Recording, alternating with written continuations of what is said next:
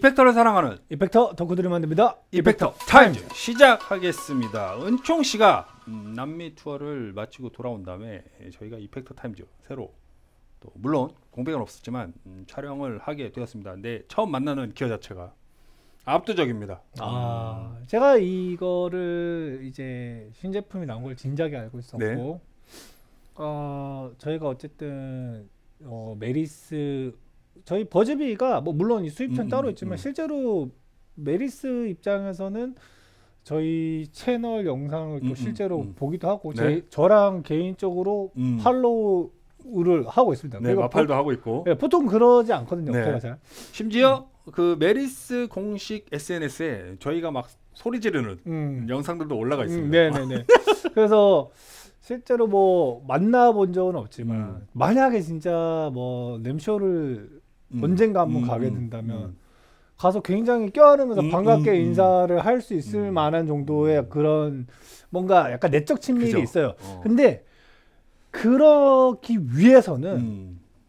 그뭐 여러 가지 이유가 충족되겠지만 리뷰어로서는 일단 기본적으로 기어가 좋아야죠. 맞습니다. 그죠? 음. 근데 저희가 뭐 그렇게 극찬을 한 기어들이 몇몇 개 있지만 음.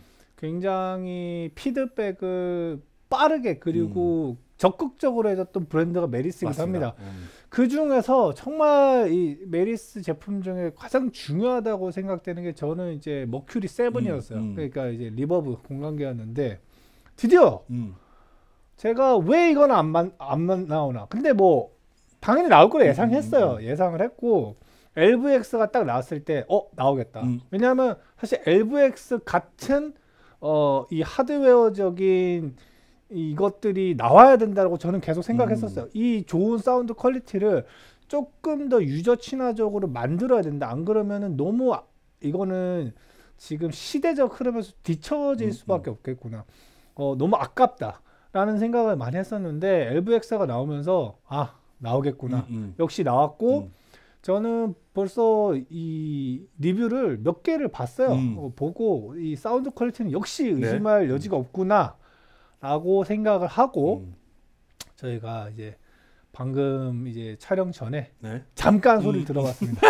정말 잠깐 소리를 들어봤는데 음. 끝났다. 역시나 음. 의심할 여지가 없었다. 음. 아.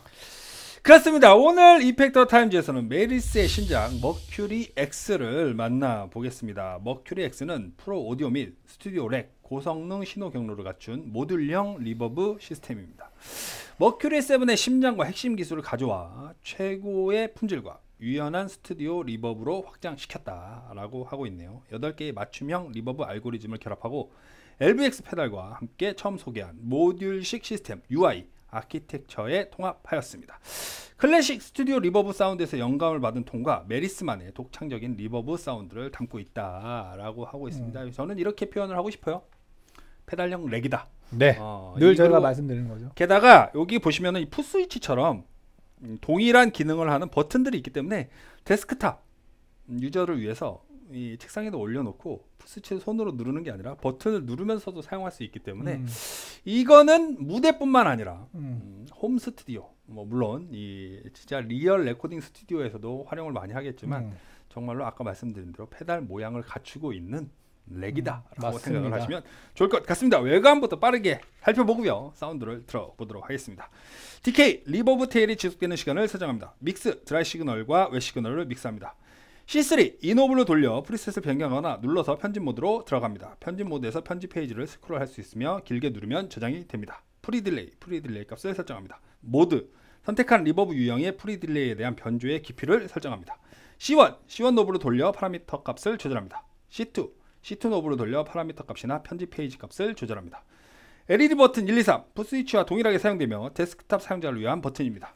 hold, modifier, preset별로 momentary, latching, tap tempo 동작을 설정할 수 있는 envelope generator입니다. footswitch 1, 2, 3 preset을 불러오거나 우회합니다. 일단은 knob들이 많고 액정까지 달려있기 때문에 부담을 느끼실 분들이 있겠지만 쉽게 C1, C2, C3 정확한 순서로는 C3, C1, C2 이렇게만 생각을 하시면 굉장히 동작이 쉽고요. 음. 나머지들은 굉장히 직관적인 노브기 그죠? 때문에 여기 보시면은 요 편집 모드로 들어가서 C3를 눌러서 들어가서 이렇게 돌리면서 그죠. 지금 반응형처럼 게- 어, 지금 보면은 DK 나왔고요. 네, DK에서 이렇게 조절을 할 수가 있고요. 얘를 돌려서 또 딴거 어, 어, 스트럭처 네, 스트럭처 요 밑에 보시면 밑에, 예, 글자 잘 바뀌죠? 보시지 않겠지만 네. 그래서 이렇게 돌리시면 프리 딜레이 이렇게 돌리시면서 모디파이 믹스 돌리신 상태에서 돌리고 돌리고 조절을 하는 방식입니다. 되게 간단해요. 그러니까 굉장히 간단하게 치켜보면 얘는 이제 큰큰 그죠? 주제를 네. 돌리는 거고 두 번째 주제, 예. 세 번째 파라미터. 그렇죠. 네, 이렇게. 생각하시면 됩니다. 편할 것 같습니다. 저희는 오늘 프리셋 사운드를 많이 들어볼 텐데 자 1번 프리셋부터 한번 1번입니다.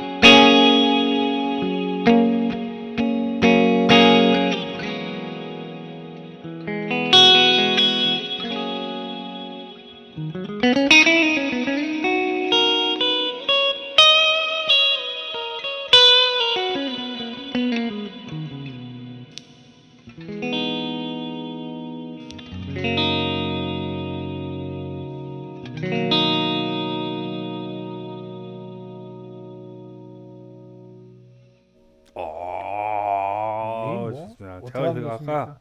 2번 프리셋을 들으면서 막 경악을 했거든요.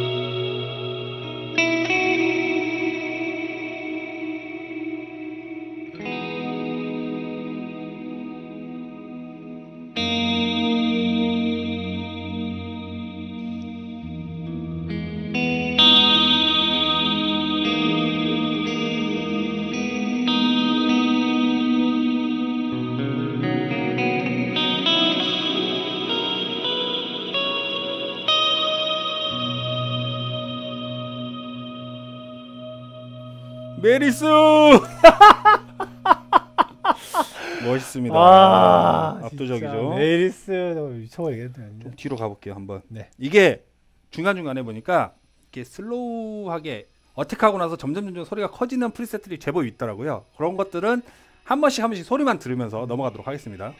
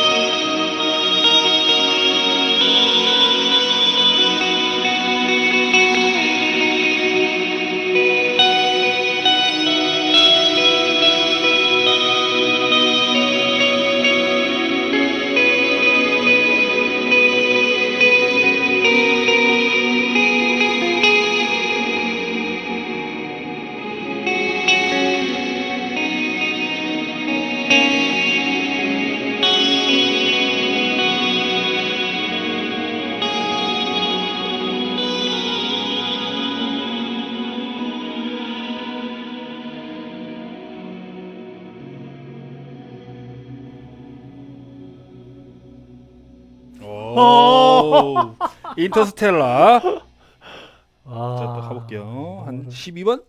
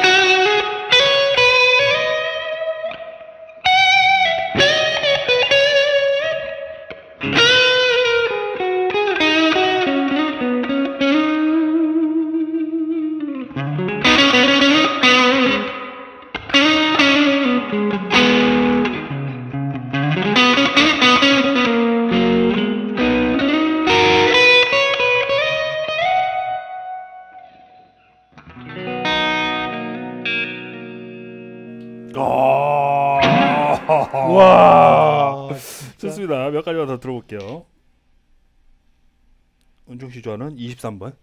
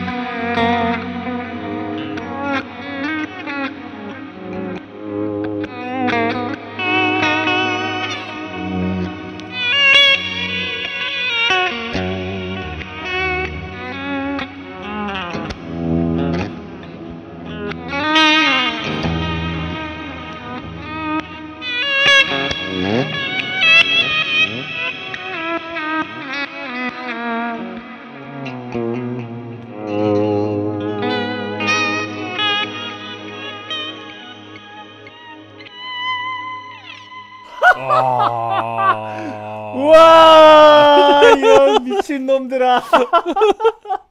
마지막으로 하나만 더 들어보겠습니다. 들어볼까요?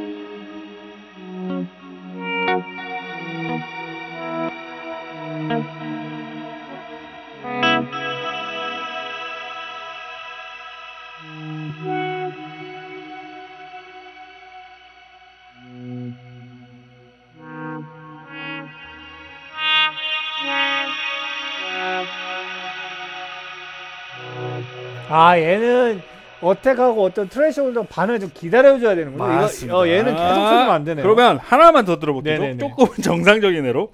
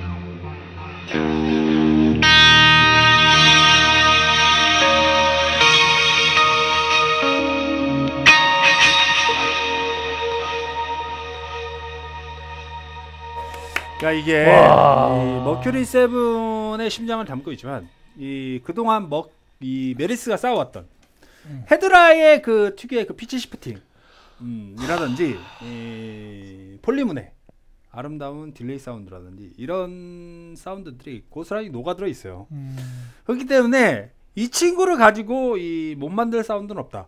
저는 이렇게 생각을 합니다. 이게 단순히 이 기타리스트를 위한 페달은 아니다. 음, 음, 만약에 이 신디사이저라든지 음. 음, 건반 악기를 연주하시는 분들이 이 제품을 사용을 한다?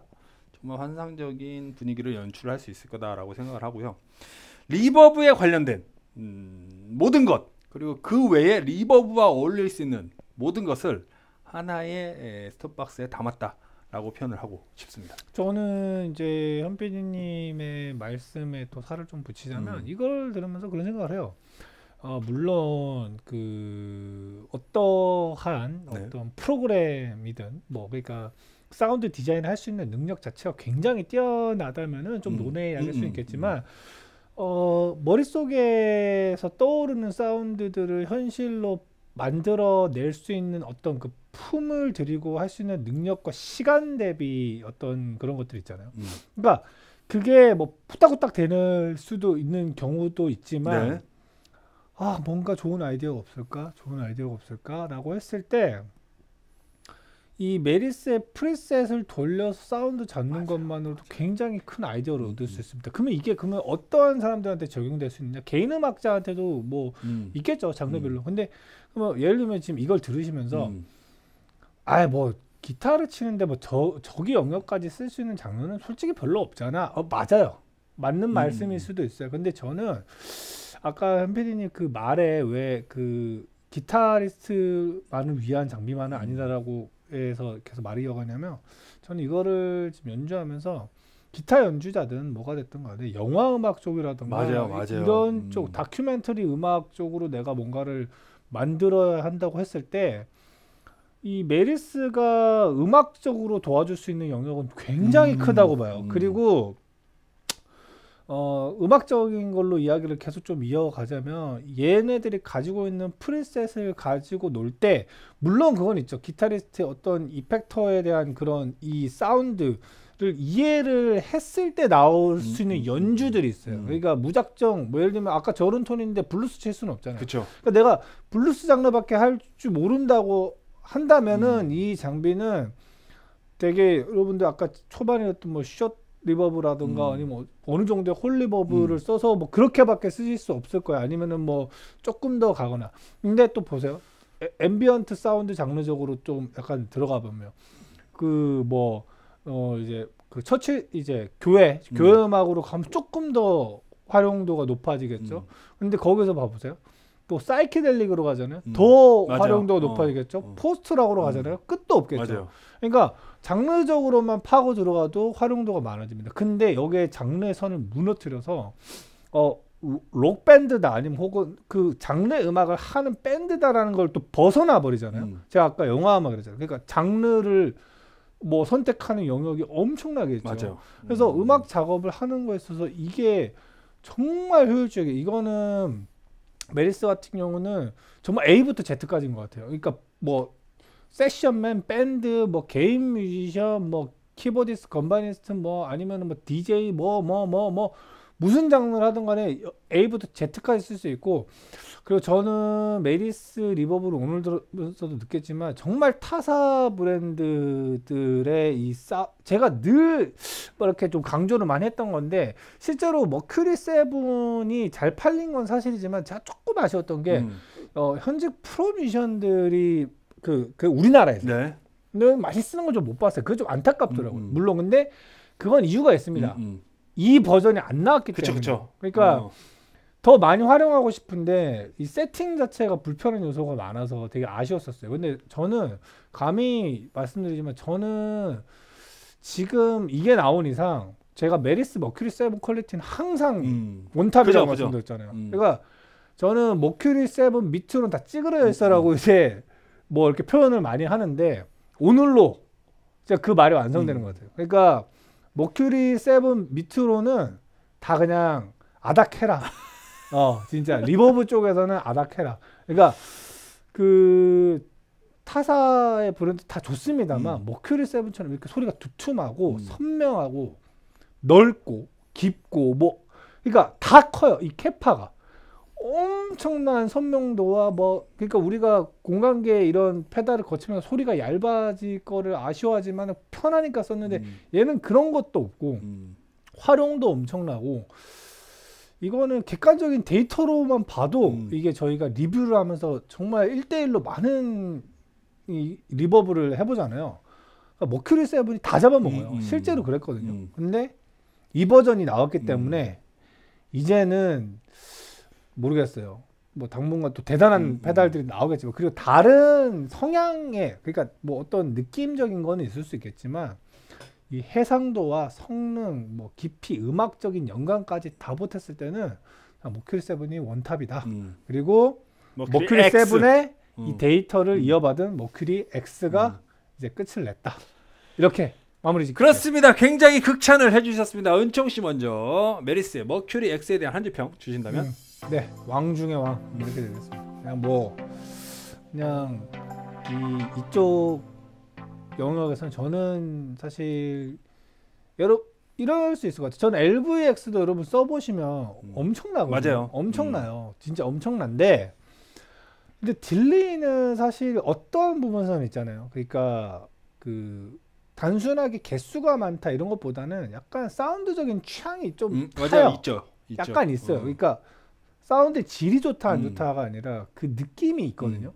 그거를 좋아하는 계열로 가거나 결국 뭐 preset이 편리한 걸로 가기 때문에 그래 오케이 그거는 음. 그건데 reverb는 저는 아 그냥 무조건 좋아야 된다고 음, 생각해요. 음, 그냥 무조건 좋아야 된다고 생각하는데 그냥 Meris가 짱이지 않나. 음. 지금 현재 2023년 음. 지금 12월입니다. 음, 어, 지금 요 timeline 안에서는 음. 어, Meris가 짱이다. 음, 그렇습니다. 저도 이 숟가락을 얹자면 제 한줄 평을 리버브의 끝이라고 표현을 하고 싶고요. 저는 감히 이렇게 생각을 합니다. 앞으로 음, 당분간이 아니라 어, 오랜 기간 동안 이 왕좌의 자리에서 Meris가 내려올 생각은 없다. 음. 라는 걸 확실히 보여준 제품이 아니었나라는 생각이 듭니다. 점수 한번 줘보도록 할게요. 네. 알겠습니다. 하나, 둘, 셋. 99.9 100점. 만점을 받아 갑니다. 뭐 여러분 이거는 뭐 수치상은 장난이죠. 그러니까 사실 어. 둘다 10점인 건데 음, 그 정도로 좋다고 표현하고 맞아요. 싶고 뭐 음, 엄청난 잠재력을 또 가지고 있는 네. 제품이기 때문에 음. 그리고 그 생각도 있습니다. 음. 어 진짜로 reverb는 앞으로 음. 웬만해서는 Meris 점수를 못 깰 것이라는 맞습니다. 저의 약간 어, 확신이 들어가 확신이에요. 거죠. 그래서 오히려 반대로 음. 응원합니다. 음, Meris보다 더 좋은 게 나오길 바래요. 맞습니다. 맞습니다. 그만큼 어. 좋은 페달이 나왔으면 좋겠고요. 어, 마무리 멋있었습니다. 네. 여튼 뭐 그렇습니다. 그렇습니다. 아, 이 추운 겨울 음. 저희 마음을 굉장히 따뜻하게 만들어준 Meris의 신작 Mercury 네. X를 함께 만나봤습니다. 저희는 다음 시간에 또 다른 effect를 갖고 것을 약속드리고 이 시간 마무리 짓도록 하겠습니다. effector를 사랑하는 이펙터 덕후들을 만듭니다. Effector, Effector Times. 다음 시간에 뵙겠습니다. 감사합니다. 유튜브 구독과 좋아요는 우리에게 큰 힘이 됩니다.